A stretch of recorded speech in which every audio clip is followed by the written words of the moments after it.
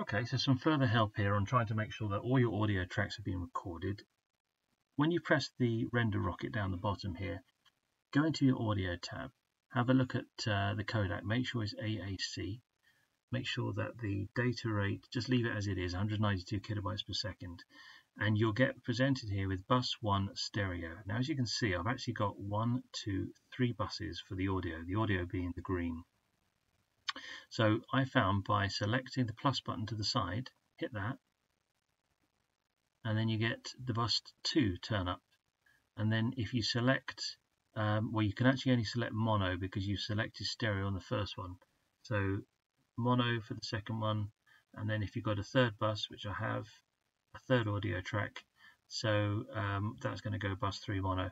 Now I did that, I then hit the render, and it works lovely, and I've got sound on all these different layers. So I hope that helps. Please let me know if it does. Really appreciate the subscribes and likes. Bye for now.